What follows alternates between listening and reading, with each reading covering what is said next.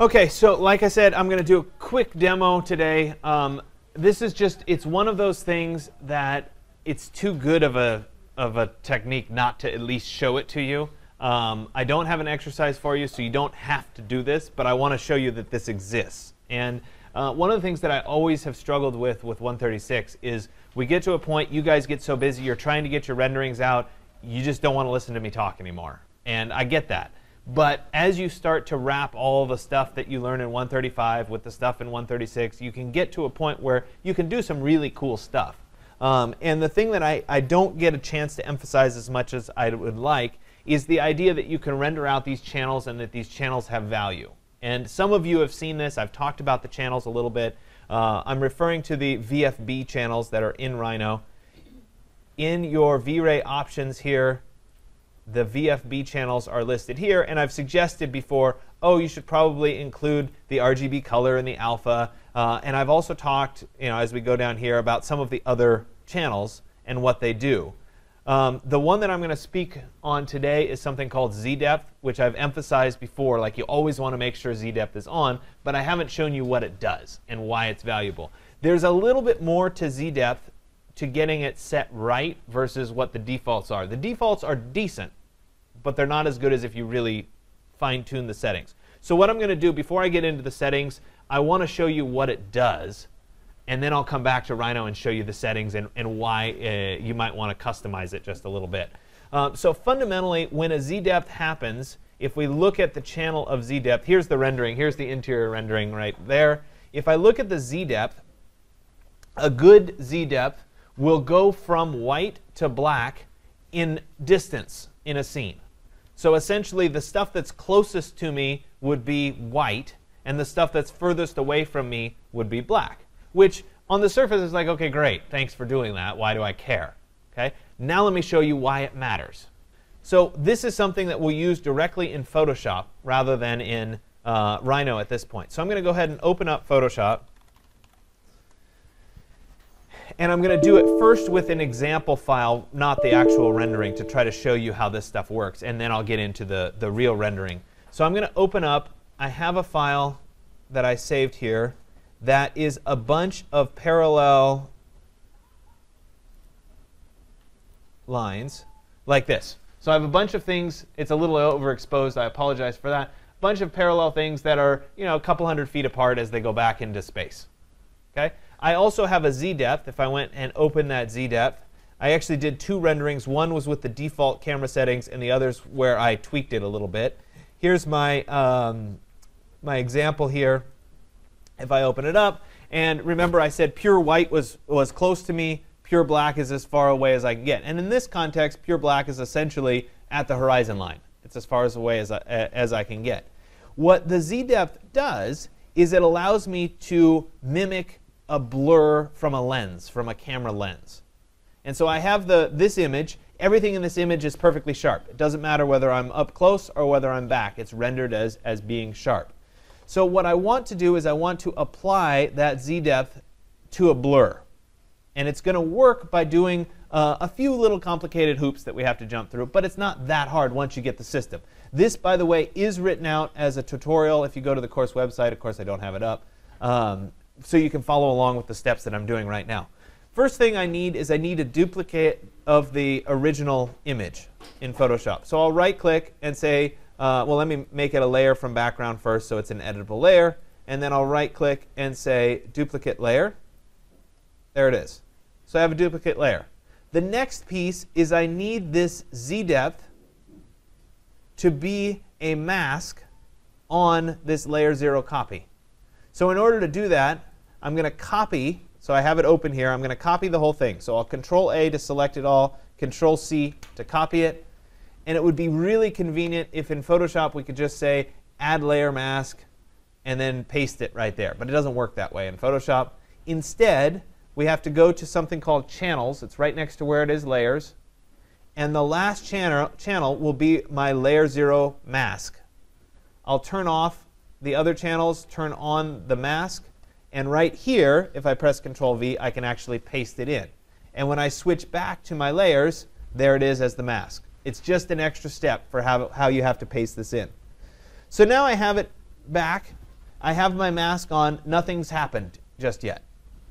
But if I go up to my filter at this point, and I go to blur, and I'm going to do something called a lens blur.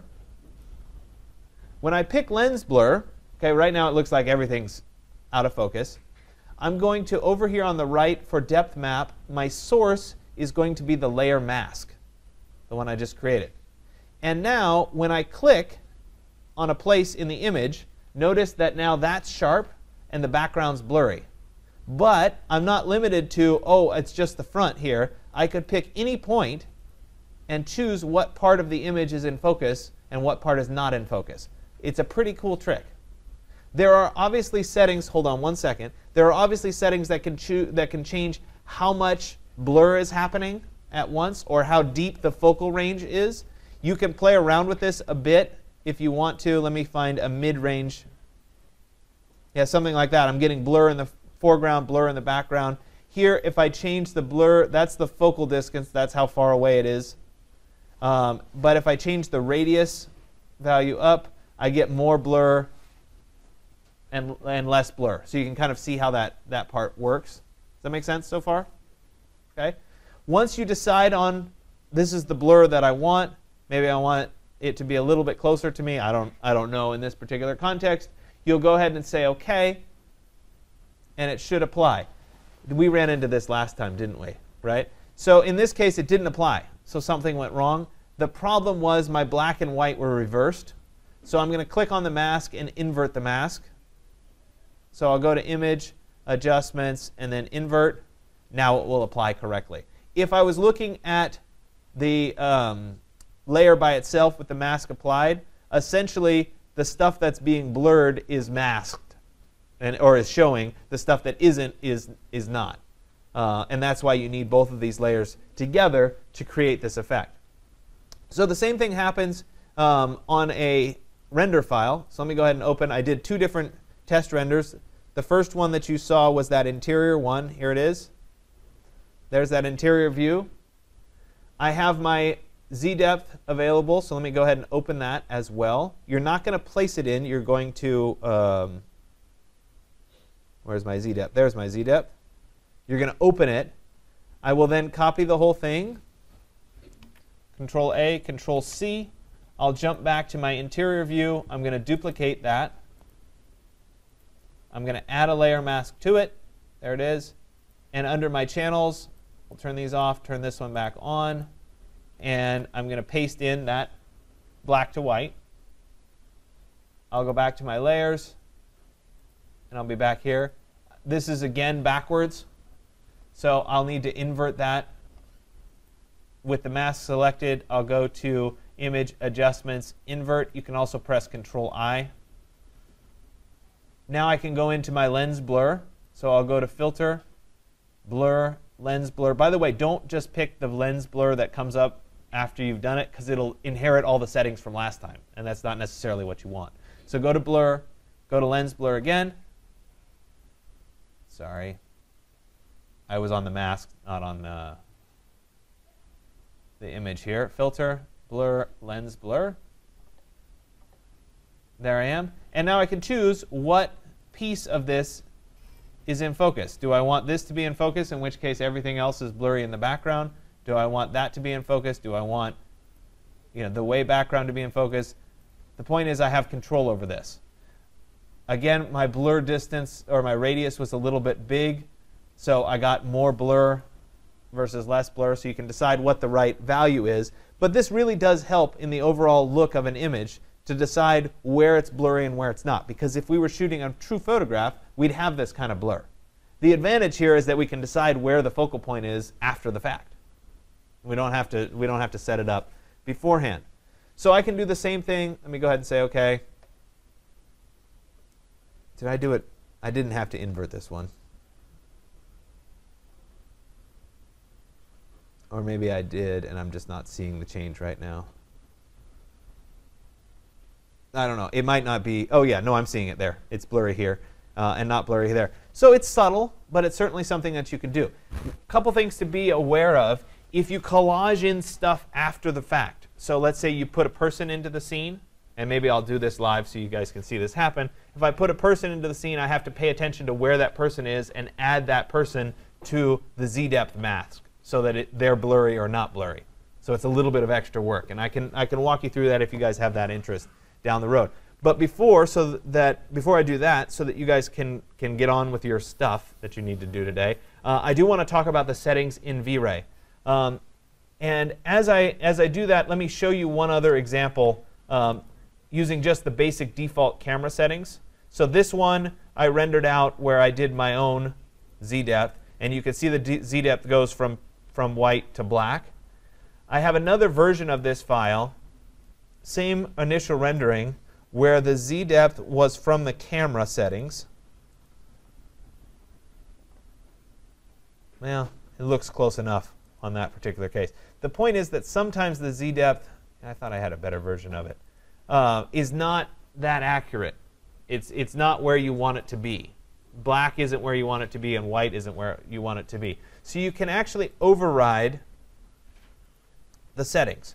So what I do when I'm setting up uh, for a render is I pick the view that I want to render. So I've already done interior 1. Let me go to set view and let me go to exterior view 2. There it is. I want to see what exterior view, 2 looks like. I've gone in and I've shown the camera. So I go to set camera and then I go to show camera. And then I want to look at this scene and decide where's the maximum point that I want blurred or not blurred. And so in this case, the maximum point that I want blurred is probably the edge of this house. From the camera, from where I'm standing here, is probably the edge of that house. Something like that. Maybe a little bit further. I'm, I'm willing to let the, the ocean be blurred. That's okay with me. I don't need the blur to be all the way out at the horizon. So in that context, I can look over in my top view here. I'm seeing my camera. There it is and I can actually type in distance, and I can say what's the distance from that point where I'm standing to, say, the edge of the house. Maybe like that. And it'll tell me, oh, it's 512 inches or something. I can go into my V-Ray options, and under VFB channels, instead of having, by default, it'll look like this, set from clamp, this will be I think this is 0 and this is 1500 or something like that. Maybe I've got the numbers backwards. Um, you can uncheck clamp and uncheck set from camera, and essentially you then can set what is the um, what are your two values. So if if the foreground, I've been doing it backwards, so I'll do it the correct way this time. The foreground would be 0. That means closest to me is at black. Furthest away from me is however far in inches, because that's my default unit, from the camera I want pure white to happen.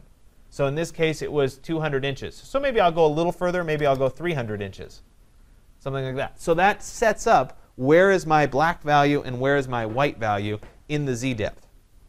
And I can then perform the rendering. I'm not going to actually do the rendering because it'll take too long. Uh, a couple other things to note. If you already have a high quality color rendering, you don't have to do another high quality color rendering to get the Z-depth channel if you didn't like the settings. You could go into your global switches. You could override all the colors to be gray. It doesn't matter whether the materials are applied or not to Z-depth. Z-depth is only about distance from the camera, black to white. So I could override that, which would make the rendering go a little bit faster, and I could then render it, and you should be able to see it come up. You can also see a preview of the z-depth rendering as it's rendering so you can kind of judge as you're setting that black point and that white point, is it doing what I want it to do? Um, once this shows, uh, I'll, I'll show you that in just a second. Um, so it's really, it's a two-part thing. It's one part Photoshop, one part getting the settings right in V-Ray. If you get both of those right, you have that flexibility to come in here after the fact and make those adjustments on what's blurry and what's not blurry based on this uh, rendering. So like I said, if, and this is, this is a split point. If you're done listening to me talk, you can disconnect and not talk to me anymore. If you want to keep me so I can show you the little bit of collage work that, that could happen in something like this, uh, it's important to, to go ahead and do that as well. So if I took this interior view here and I wanted to put a person in the scene, for example, I could go to File and then Place. I could find a person. Of course, I don't have a person ready, right? Uh, let's see here.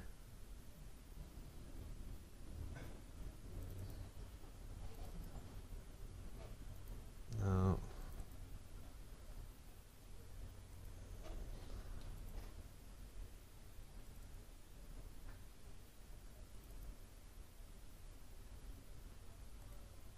Sorry, I'm digging. Hold on. Of course not. Why would I have a person? There's a person. Okay, so if I want to put that person in, I can go ahead and place that person into the scene. Remember that eye level of the person should be approximately eye level of the camera. So that's going to be about halfway up. So I need to make sure that the person is tall enough based on that where they're standing. Probably also would be a good idea to not have them looking this direction. So I can go to my transform and I can say, let's flip. I always forget which one it is. Nope, I always pick the wrong one.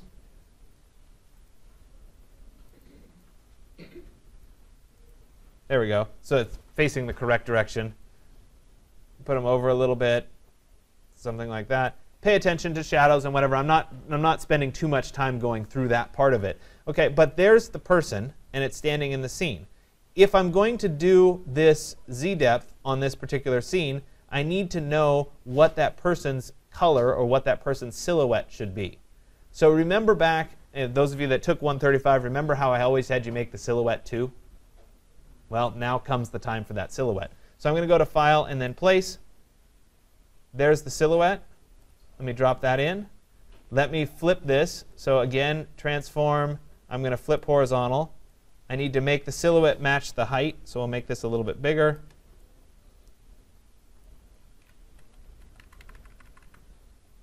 Too big. All right, right like that. So now I have the silhouette placed in. The silhouette, once I have these two set, the silhouette belongs on this mask. So let me go ahead and on, on the gray version here, let me go ahead and copy the silhouette.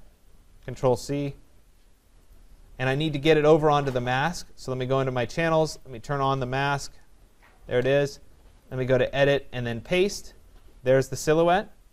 The gray is pretty close to where I want it to be. The trick is look at the floor plane, and as you get to the feet, does the gray match what the feet would be? If the gray doesn't match where the feet are, you're in the wrong uh, focal plane. So if you pay attention to the floor, you should be pretty good. It looks like I'm awfully close to where that person needs to be in the, in the, in the plane. If I needed to change it, I would adjust the gray of that person so that it matched up correctly with, with the gray of where I wanted it. Now that I have that as part of the mask, I can go back and uh, let me turn off the man there.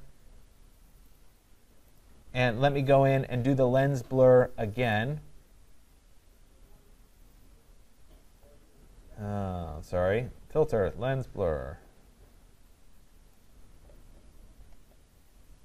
There we go. Oops. One other thing. The person isn't part of this just yet. So let me um, let me put that mask up there for later. Let me take these two images and I'm going to merge them together. So I'll right click and say merge layers. Now the person is part of that image. I'll take the mask and I'll apply it to, actually, you know what? Let me because that one already had the blur applied, let me duplicate this one. And I'll take this, which doesn't have the blur applied, and that one, and I'll merge those. Then I'll drop this mask back on. So the mask is back there. And then I'm going to, on the, um, on the image itself, I'm going to go up to lens blur. So we'll go to my filter, blur, lens blur. And now I have to decide, is the person in focus? Is the background in focus? But see how the person is blurring now?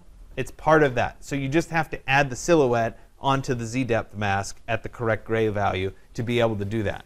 So I show you this as a technique relating to collaging. So if you take your image and you start to collage stuff, you have to pay attention to those collages when you do the z-depth. Same thing would happen if you collage grass or something like that outside the building. You'd have to have that to do the z depth. Otherwise, it's going to look funny.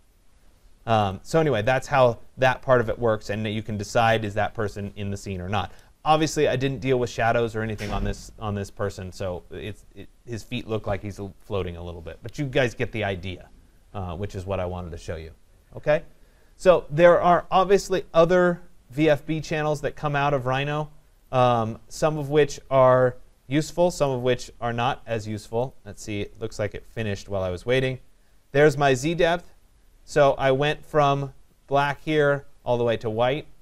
Uh, and so that's, that's bracketing my values again uh, with where I wanted them to be uh, bracketed. The other, Z, the other versions are available. There's a shadow version. There's a render ID version, which gives you a separate color for every object that's in your scene.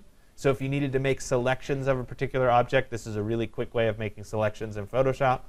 Um, material ID is supposed to be where all the materials are the same color. A lot of times it doesn't work for me. Um, the lighting shows just the lighting in the scene. Uh, the background shows just the background in the scene. Z depth we already talked about. Alpha is like transparency in a scene. What's transparent, what's not transparent, uh, and that sort of thing. So again, all of these are useful. Remember when you do the save, instead of clicking the single disk, click the multiple disk, and that'll save all all of your um, uh, all of your VFB channels at the same time. Okay, so I know that was a little bit of a side note. It's not required as part of your final project, but I at least wanted to, to show you that this stuff exists uh, so that you're aware of it. And maybe when you get to 220 or 221, at that point, you'll start doing it. Okay?